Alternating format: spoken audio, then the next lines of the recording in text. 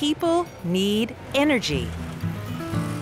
Energy is heat, and energy is light. Energy is physical science. Today, there are new ways energy can be created safely, inexpensively, and without polluting the environment. And scientists like T.H. Culhane are working to make clean energy more accessible. Today, TH is bringing his energy saving ideas to a house in Northern California. 100% of the electricity that this house uses is going to come from the sun. 100% of the water that we use for the garden is going to come from the wastewater.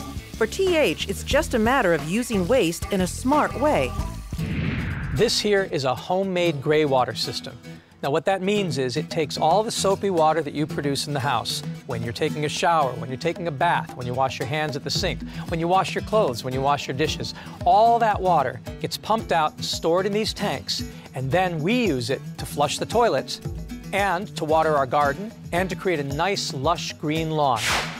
TH sees no need to waste food either, using leftovers to create cooking gas. This is a sink with an InSinkErator waste disposal unit. And what that does is that grinds up our food with water and produces everything you need to make biogas.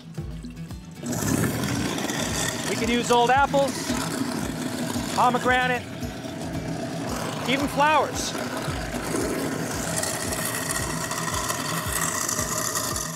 And once that's all ground up,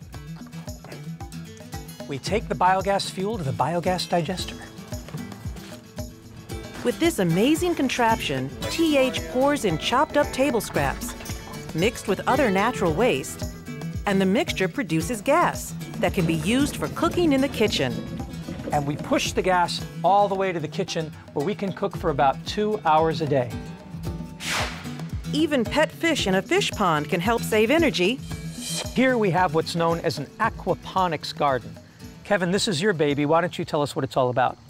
Well, the fish will pollute their water by pooping in it, but that poop has ammonium in it, which is good for the plants. Plants will filter the water so that there's no ammonium in it anymore, and that'll be good for the fish. So what you're saying is the fish are feeding the plants, the plants are cleaning the water and giving it back to the fish. Yeah? Before long, T.H. Culhane and his team will have a house that uses only the sun for energy, creates cooking gas from table scraps, and uses wastewater to create a garden filled with fruits and vegetables. This is sure to be one house of many, made more energy efficient by this urban pioneer with a colorful past. I'm an Iraqi, Lebanese, Irish, French, German American celebrating my multicultural heritage.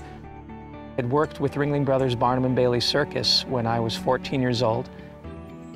I spent a year in the primary rainforests of Borneo, uh, places where it had almost been untouched. I know from the experiences I've had around the world that we have solutions to all of the problems that are plaguing us. We're bringing technologies from India to Cairo. We're bringing technologies from Cairo to Sonoma County. So what I'm trying to accomplish is just something that demonstrates that it isn't so hard and inspires others to overcome their fear and their inertia and their resistance and just try it themselves. In the years to come, T.H. Culhane plans to continue traveling all over the world, teaching people how to create and conserve energy for themselves. Who knows? He may even end up in a town near you.